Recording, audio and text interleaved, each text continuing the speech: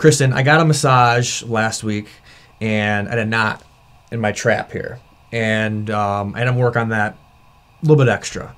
Felt better when I was done, but next day came right back. Does that mean that my treatment didn't work? Yes and no. So I'm glad that your trap pain didn't get worse afterwards, which is not also not uncommon. And why didn't you get a massage from me? Then we wouldn't be having this conversation.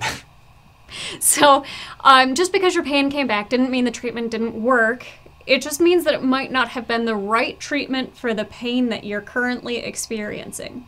So often when we go to get a massage, people come in and they tell me, oh, my right shoulder is killing me. I want you to spend 90% of the time on my right shoulder, and then, you know, I, you could spend a few minutes on my legs and feet, and that's it.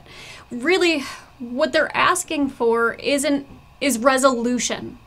They want their pain to go away, and they think by asking me to spend 90% of my time there that that's going to resolve their pain.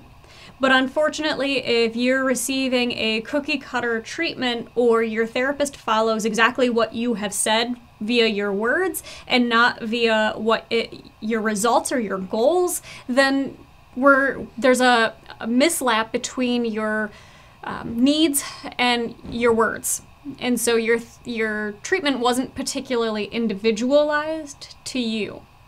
Uh, this happens both with massage and with chiropractic and even some other hands on therapy types that your treatment didn't actually address the root cause of your pain. It just rubbed away and eased the symptoms of it. And because we didn't address the root cause and it wasn't individualized to you, there was not actual resolution to it long term. So if you're getting pains and aches that come back right after your treatment, whether it's chiropractic or massage or anything else, it's unlikely that your treatment plan was actually customized to you. And it's um, going to require a little bit more in depth thought on behalf of your practitioner to create a plan for you that actually works to resolve your aches and pains and not just temporarily soothe them. Gotcha. Now, what if you're, I say, I went to the, to the massage therapist and my pain got worse afterward, or maybe do I even do I expect to be go for one treatment and be better? Sometimes you can do get away with one treatment and feel better afterwards, especially if the reason for your pain is stress related or a lack of sleep related.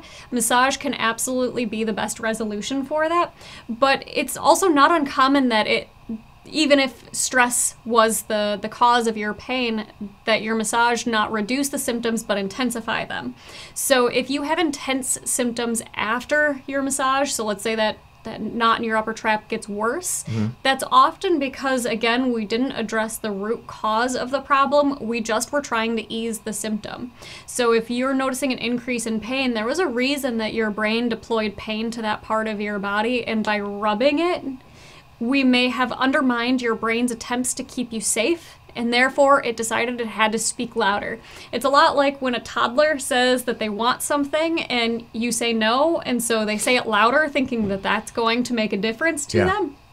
So, pain can be very similar. If you do something to try and pacify it, but it didn't actually get to the root of it, it's just going to get louder to let you know, hey, that's not what I wanted. Mm-hmm. So, if that's the case, if that's happened to you where your pain comes back within an hour, two hours, even a day or two after your massage therapy session, then it might be time to start looking at a different type of massage, a different therapist, or a different approach altogether to really start addressing the root of your symptoms and not just what you experience.